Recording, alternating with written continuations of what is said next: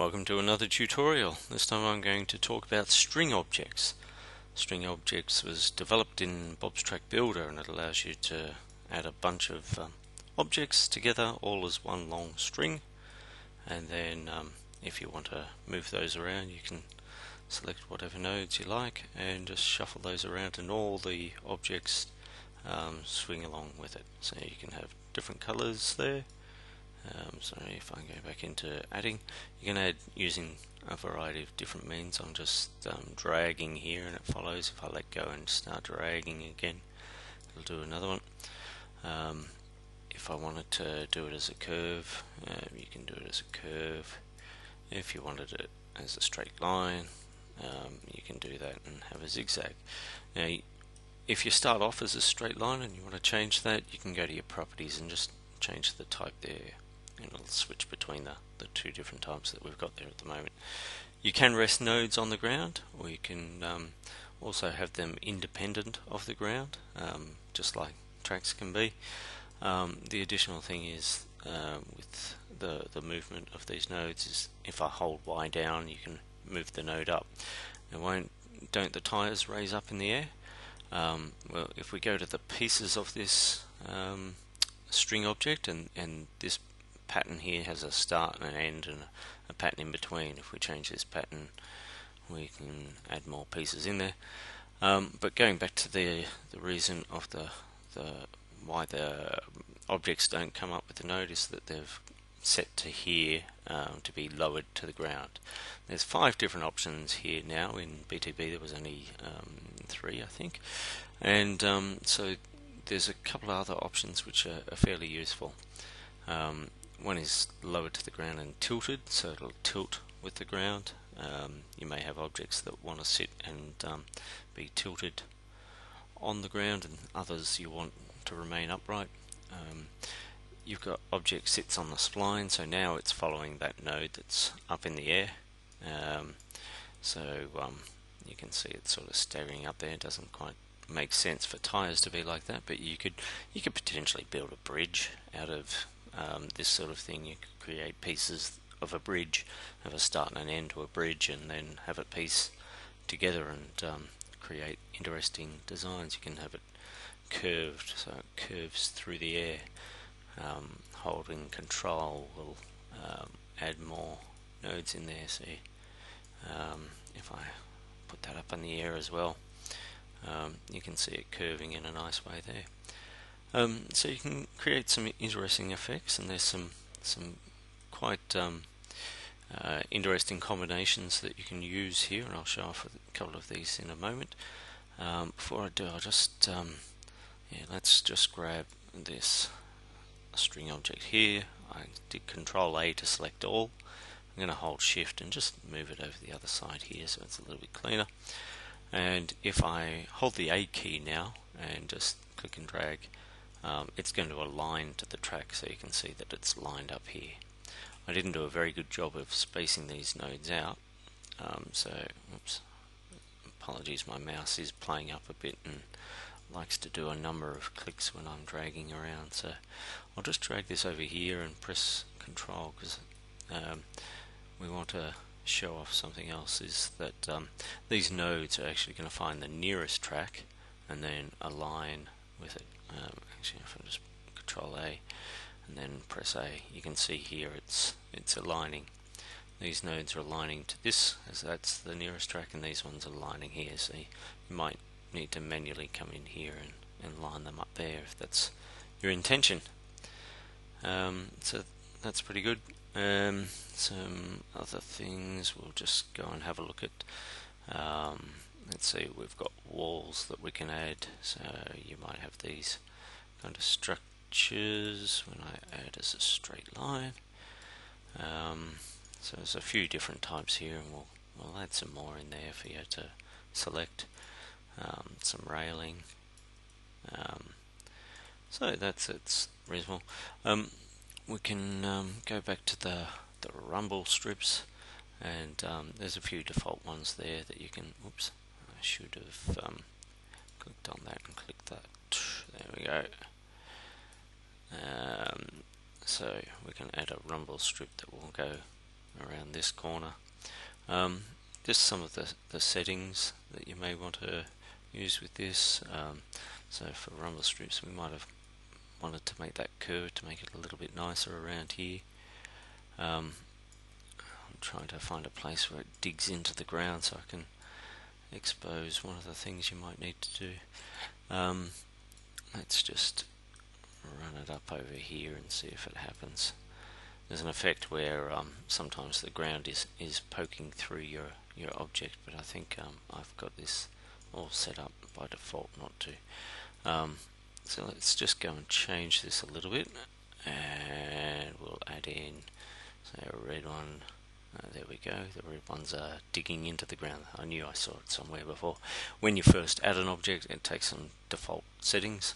Um, so if we look at the differences between um, the saw uh, concrete and the saw red, um, is if you look down here as I switch between them, you see it's uh, curving with the spine, spline, and the object is lowered to the ground here, whereas the vertices are lowered to the ground here. So when I go and set this to be vertices lowered to the ground,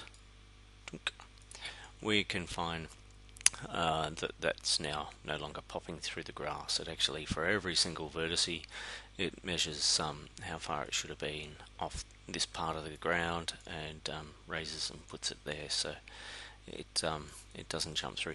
You could um, have ground that's higher and pops up through the middle of this where there are no vertices. Um, so you may have to do some fine tuning on, on some parts of your track for that.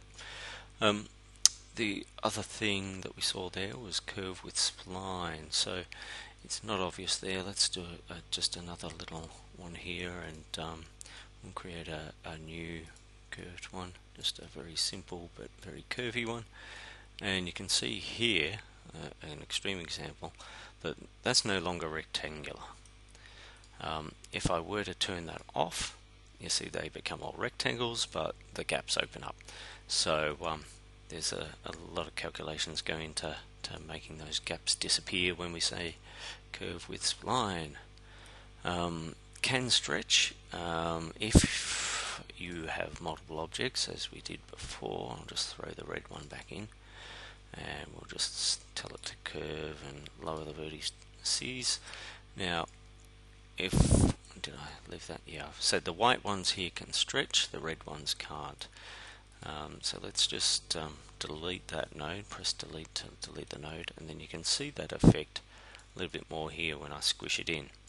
To use up that available space and, and have that pattern, um, the white ones can squish, the red ones can't. So as you expand this out, um, you can see that difference.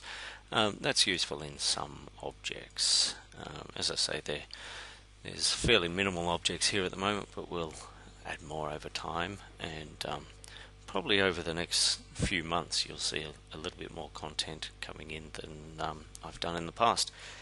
Um, so, without dwelling on that too much, let's have a look at one of the other properties. And let's use a wall and let's find some space around here. Just to, you, you're probably best off um, for for doing this is just playing around with it yourself and, and seeing the, what the options do. But here we've got walls and um, the walls don't sit too well on that ground.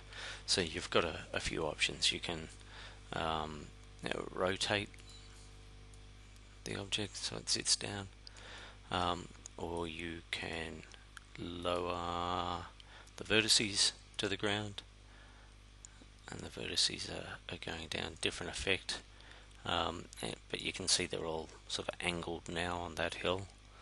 Um, so that could be useful if you, you had a, a, concrete or brick wall or something like that. And there's another one where um, the lower vertices are stretched to the ground and um, the ones up the top are not stretched to the ground. Now that um, will take a bit more explaining. Um, let me go to a less steep part of this hill. Uh, actually, let's just drag that up here and have it a little bit less of a slope. So for the for the base here, uh, the bottom of the object, all their vertices will be 100% dragged down to the ground. For the top of the object, it won't. So these are now remaining perfectly flat on top, but the bottom is sloping with the ground.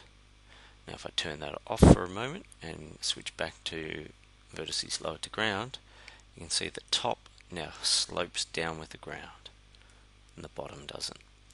Um, maybe it would have been better to demonstrate with this one, but it's a little bit late now. Um, so going back here and just putting them down.